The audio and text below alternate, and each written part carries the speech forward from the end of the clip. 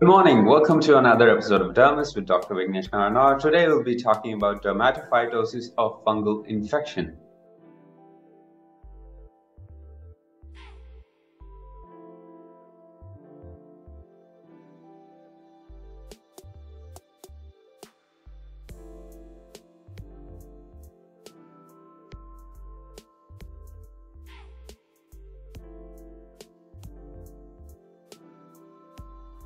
You may have commonly heard them as ringworm.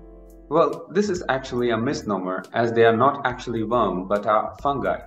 They typically affect the superficial layers of your skin but may also affect your nails and may affect your hair. They typically feed on a protein called keratin that is present. These, when present on the skin, present as red enlarging circular patches which often has a central area of clearing. When they affect your nails, they may result in a yellowish discoloration, and on your hair, they may result in a patchy loss of hair.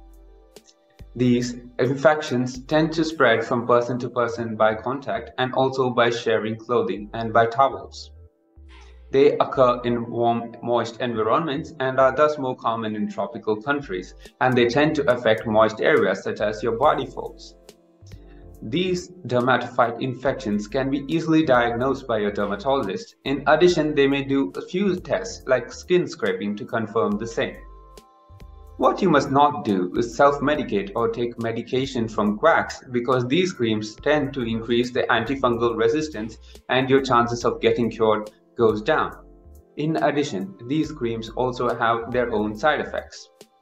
Your dermatologist tends to be up to date about the antifungal resistance patterns that are going on and knows the drug that are going to be most effective in treating your condition. You need to take the medicine for the amount of time as prescribed by your dermatologist and not stop them early.